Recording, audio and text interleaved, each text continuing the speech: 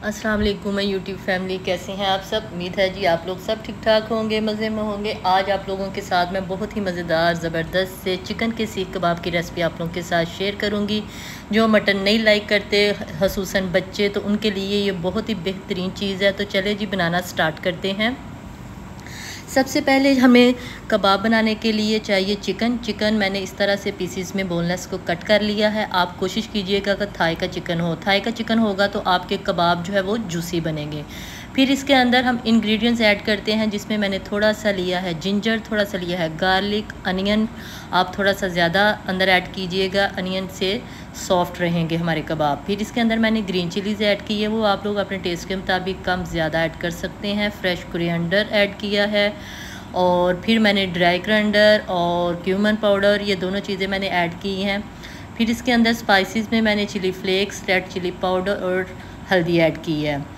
ये आप लोग स्पाइसेस अपने टेस्ट के मुताबिक ऐड कर लीजिएगा। फिर मैंने इसके अंदर ऐड किया है वन टेबल स्पून बेसन और टू टेबल स्पून मैं इसके अंदर ऐड करूँगी ऑयल अगर आपके पास घी है बटर है ऑयल है, जो भी है, वो आप लोग इसके अंदर ऐड करें।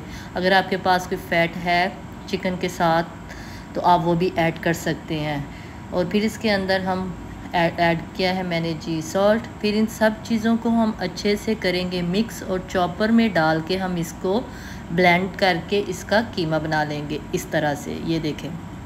ये हमारा ज़बरदस्त सा कीमा रेडी हो गया है। इसको हम 30 मिनट के लिए हम इसको रेस्ट देना है आप लोगों ने। इसको पहले हम कोयले के साथ स्मोक देंगे और फिर फिर इसको हम 30 मिनट के लिए रेस्ट देंगे और फिर इसके हम कबाब बनाएँगे।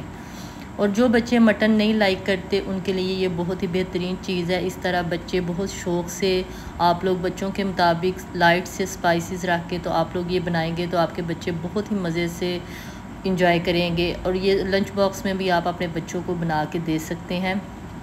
सारे इंग्रेडिएंट्स जो हमने इसके अंदर डाले हैं, वो जब आप चॉपर में ऐड करेंगे कि चिकन को तो वो सारे आपके बहुत अच्छे से मिक्स हो जाएँगे। कुछ भी बच्चों को अंदर से नज़र नहीं आएगा तो बच्चे इजीली इनको खा लेंगे। फिर आप लोग इधर जो भी आपके पास स्टिक है, कोई भी चीज़ है, आप उस इस तरह से आप लोगों ने इसके कबाब की शेप दे लेनी है।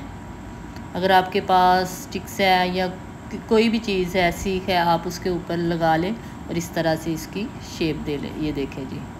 फिर हम इसको उतार के इस तरह वन बाय वन हमने सारे बना लेने हैं। दूसरी तरफ़ हमारा ग्रिल जो है वो हमने पैन को रख दिया है और इसके ऊपर हमने हल्का सा ऑयल ऐड कर दिया है। थ्री से four tablespoon oil add किया है और इसको हम गरम करेंगे और फिर इसके अंदर हम अपने कबाब ऐड करेंगे।